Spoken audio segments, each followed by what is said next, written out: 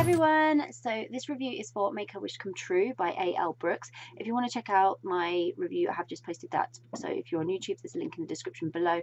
And if you're on my blog, then there is a link within the post.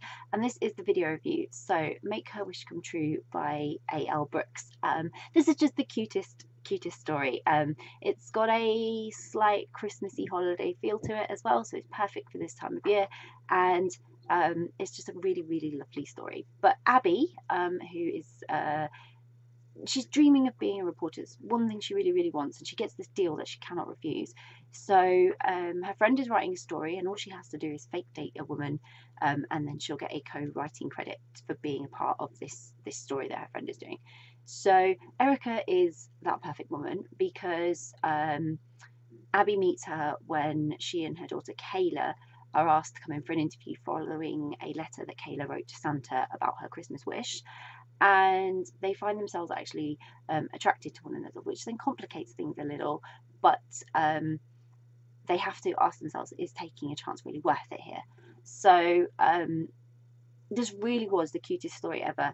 Kayla completely stole the show. I loved Kayla. She was perfect, and um, and my heart. She was just so sweet, and she was so cute, and she really wanted her Christmas wish to come true. And Abby and Erica were the only ones that could make that come true if they uh, were brave and took a chance on their feelings. So um, she just her life wasn't Kayla and Erica's life wasn't the greatest, and what I loved was that positivity. They both had it that that accepting that um, life was still good, and Kayla very accepted that. You know, even though she only had one mum and her mum was really, really working hard, and they made sacrifices, and they only had basics. Kayla was such a happy kid, um, and that was a lovely sort of sentiment built into the story um, that she wanted something more and she hoped for it, but she was still happy and Erica and Abby, um, they were kind of from different worlds, yet they were perfectly, perfectly suited.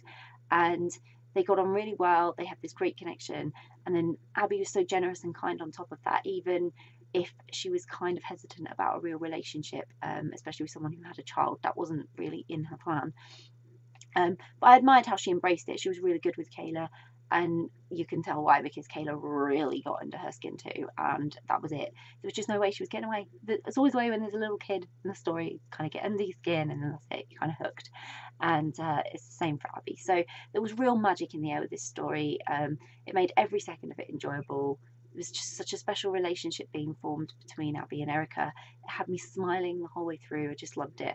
And even if things hadn't worked out, um, both of them were doing what they were doing to be kind and supportive of one another and therefore had a friendship and that was lovely but Kayla really was the winner in this story. Um, she really, really was. It was just a great holiday-based romance uh, for for Christmas, and I can't wait to read it again.